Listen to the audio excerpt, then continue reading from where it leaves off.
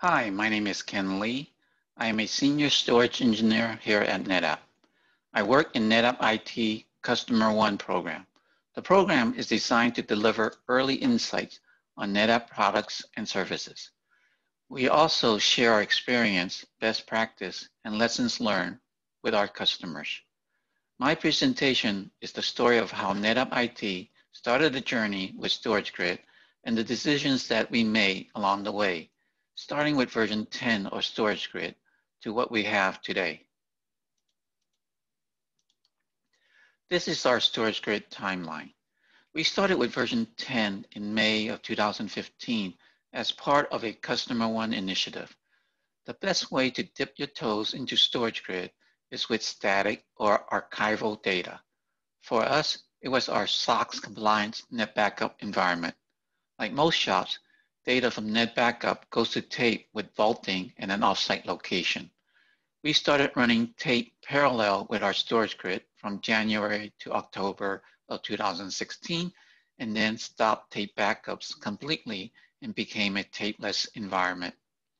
The next application to move into our grid was Active IQ flat files. Large static files, and within six months, it consumed 600 terabytes of storage.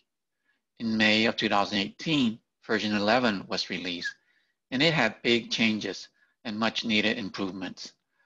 That is when an application named Authenticated File Upload, NAFU, decided to use StorageGRID as their backend storage because it met their requirements. We created a new DMZ storage grid and put NAFU in it, and we went live in October 2018. Because of that success, we created a grid in Amsterdam in March of 2019, and then the final phase of the project was to leverage AWS S3 in Sydney. This is what our storage grid environment looks like today. We have three production grids. The first one is in our corporation grid, which is only accessible from internal network within NetApp. It spans three sites, 11 nodes in Sunnyvale, 24 nodes in RTP, Raleigh, North Carolina, and 20 nodes in HIO, Hillsboro, Oregon. We are using VM gateways as the endpoint. For the internal DMZ, it is a two-site grid this, is, this gives us 10 nodes in RTP, nine nodes in HIO. Instead of using a VM gateway, we started using the F5 load balancer for the endpoints.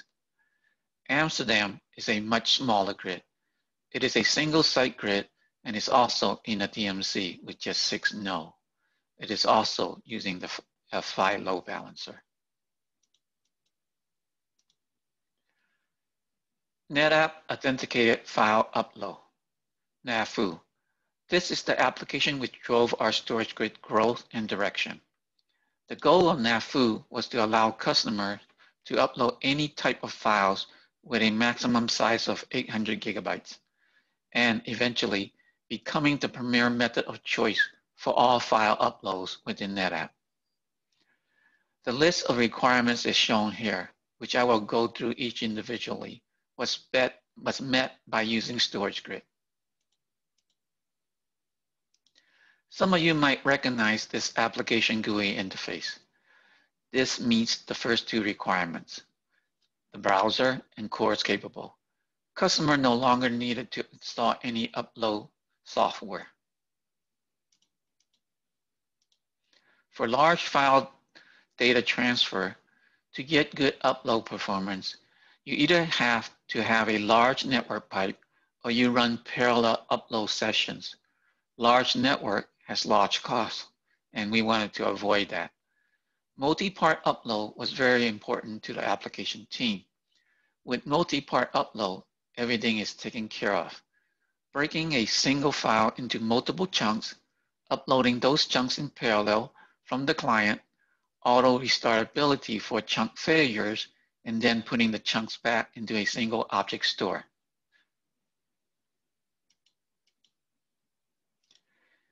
In the center of this slide is our core storage grid. That grid is housed within our internal core network, and our security folks would not allow us to use that grid for internet-facing activities. Therefore, we had to create a DMZ grid, but the problem was our support team is in the Corp network. The storage grid platform service, CloudMirror, allows us to move the uploaded data from the DMZ grid into our Corp grid. This is what the NAFU application looks like. It is using an F5 load balancer endpoints to either HIO or RTP. Storage grid in the DMZ will transfer the data to the court grid and from there to the engineering domain. There are two items that this slide is not saying. One is that Amsterdam grid came later. After the successful implementation in the US, we were still getting slow uploads from our Europe customers because of the distance to the United States. Therefore, we installed the Amsterdam grid. Some of you experts in storage grid might question why we did not extend the DMZ grid to include Amsterdam as a site. Well, NetApp has a very small network pipe from Amsterdam to the United States. We were worried about the metadata. As you grow the grid to a lot more nodes, each site needed to have metadata about all the other nodes. This chattiness of small packets of metadata going back and forth on a very, very low bandwidth network could cause services to queue up within storage grid and cause issue for the grid itself.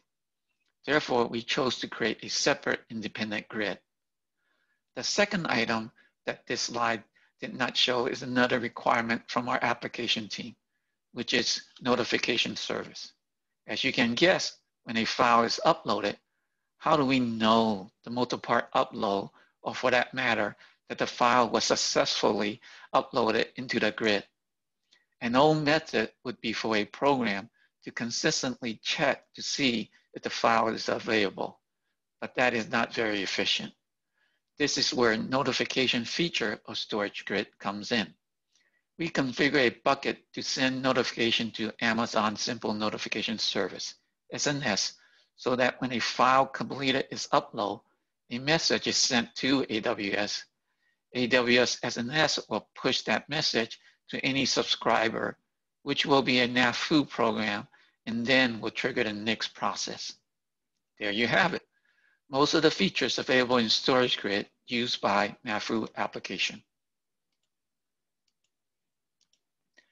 Some customers in Europe were still experiencing slow uploads unless they were near Amsterdam. And we were back to the original problem, slow upload speed. Because the backend storage is object storage, NAFU should be able to connect to any object storage with little or no modification. This is where AWS S3 object storage comes in. What we did was we spun up an AWS S3 in Sydney and point the application endpoints to AWS and start uploading files into AWS S3. In the US, we will also spin up an AWS S3 instance as a target storage. In this way, we would use AWS Backbone Network to move the uploaded files from Sydney into AWS East, and from AWS East, we use CloudSync to move the files into our core storage grid. Within AWS, we don't leave the data there. Once it has been moved, we delete the files to keep costs down. Now, we can scale this AWS solution to get closer to our largest customer if needed with minimal changes to the application. Phase one of the project was to create the application using Storage Grid. Phase two of the project was to expand the application to Amsterdam, our Europe customer. Phase three was to find a method to provide the same upload speed regardless of location. So far, we can upload in Japan, Hong Kong, Singapore, and many, many more locations. When ONTAP object storage becomes available in Cloud ONTAP, we as customer one will look into replacing AWS S3 with Cloud ONTAP S3. Key takeaways. How you can start small with static or archival data and evolve storage grid using an F5 load balancer for endpoint high availability, and use AWS S3 Backbone to transfer data and then use Cloud Sync to migrate that data back onto on-prem storage grid.